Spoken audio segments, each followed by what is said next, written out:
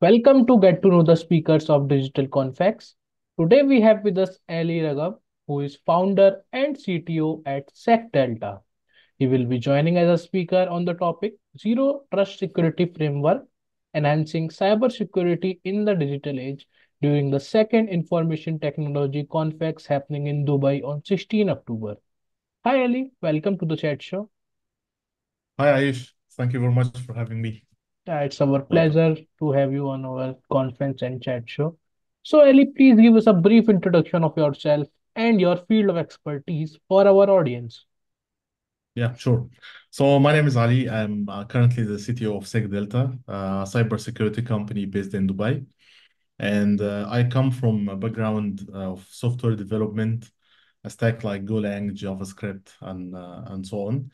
And uh, through my career, I have transited from uh, software development to leadership positions, and previously worked as uh, chief information security officer to one of the uh, uh, Saudi Arabia companies, leading the the whole cybersecurity landscape and compliance management, working with engineering team for secure architecture, and even working with uh, any regulatory framework like SAMA cybersecurity framework and so on.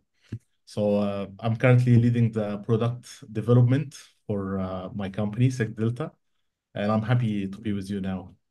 Yeah, it's great knowing you. So tell us your excitement for our event.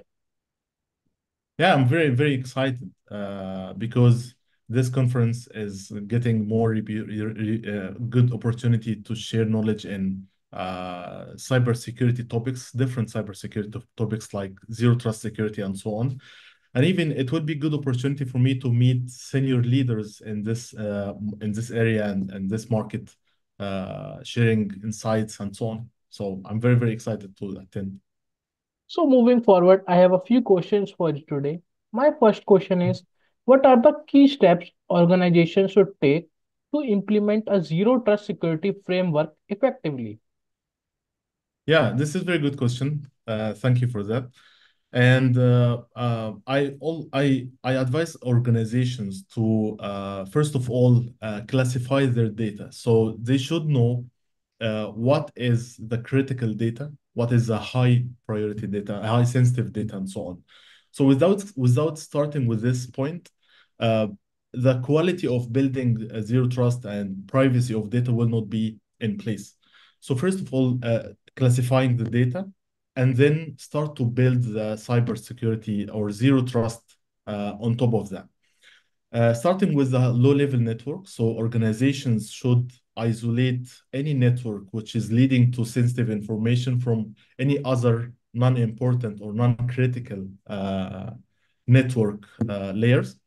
And this is called micro-segmentation for the network itself and then start to add uh, very strong authentication mechanisms like multi-factor authentication and maybe integrating with uh, single sign-on providers and so on. And then uh, start to build very strong segmented authorization layer for uh, adopting the least privileges uh, and so on. And th these accesses should be uh, temp access. So it should be controlled with least duration so there is no any uh, long-lived uh, access or sessions to any uh, sensitive resources. And finally, builds very secured observability all over this. So you should have audit for any active sessions, what is happening as transaction logs and access logs, and so on. So all of this, and even more, something like encryption for data and so on, we will talk uh, in uh, in a, lo a lot of uh, details in the conference for sure. So all of these will form uh, a very good layer or level for zero trust security in terms of uh, human to system or APIs or actually machines accesses. And even that will even the same for system to system authentication or API to API and, and, and so on. I think yeah. you explained very nicely, I think step by step and priority wise also. So my Thank next you. question will be, how does zero trust security help in protecting organizations against modern threats like ransomware and insider attacks? Awesome.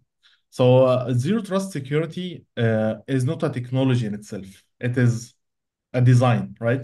So as we talked, like uh, building uh, strong authentication for users to access resources, we need to consider the devices of these users as well. So this call is uh, security for their endpoint devices, right? And organizations should implement and build uh, endpoint uh, uh, detection and response. So automatically to, de to detect any abnormal uh, behavior coming from their devices as well. Especially currently, the whole world is is moving to the remote work, right? And a lot of organizations even adopt bring your own device policies, correct? So I shouldn't, as long as I, I didn't uh, trust the users, I shouldn't trust even their devices. So uh, by the EDR or detection response, if there is any abnormal traffic coming from specific device, so I should build a mechanism to extract this device out of accessing any resources, even if the user has access. So I shouldn't trust both, right? So by building and calculating the trust score of any user and, and his devices, this will minimize the effect and uh, the big problem coming from uh, the ransomware, something like ransomwares. And even that will minimize any and making mitigation plan for any any possible threat actors internally, because attacks come uh, from internal as well. So this mechanism will will be very very good uh, to start with. I think this mechanism is very proficient, I think. That's Yeah. why it's used in every organizations. So I have some rapid fire questions also. So my first question is, tell us what song cheer you up while working? Oh yeah.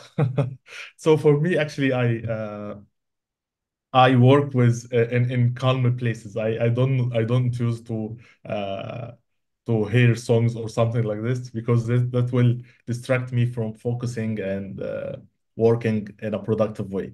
So I don't actually uh, listen to songs while working. Yeah. So any favorite thing you do while working from home? Yeah, the most uh, uh, good thing that I love is getting my breakfast and lunch with my family and uh, getting my my focus away from work and focus on my personal life a bit. Uh, this will will make me uh, in a good position once I return back to uh, to work. Yeah. So any hobbies you do in your free time? Yeah, I, I, I love cars. I love to uh, uh, follow the news of the cars, all cars, luxury and non-luxury actually, and uh, discovering good places in, in Dubai, since I'm based in this lovely city. So yeah, that's it. Thanks, Aly. It was great connecting with you, and I am thrilled with your excitement to join our conference. So, any words for Same our participants who will be joining the conference? Yeah, I advise the participants not to miss this uh, talk uh, because it's very, very good uh, to have, uh, and uh, even organizations should adopt the zero trust because of uh, its importance to any business right now, whether it is fintech or even non-fintech, uh, for protecting their assets and uh, and so on. So do not miss this and seize the opportunity to meet larger community in, in this conference. Great. Thanks for your time today, Aly. And to all the participants, don't miss this session happening on IT Confex on 16 October, presented by Digital Confex in Dubai. Get a great chance to connect with them in person. See you soon, Aly. Thank you very much, Aish. See you soon.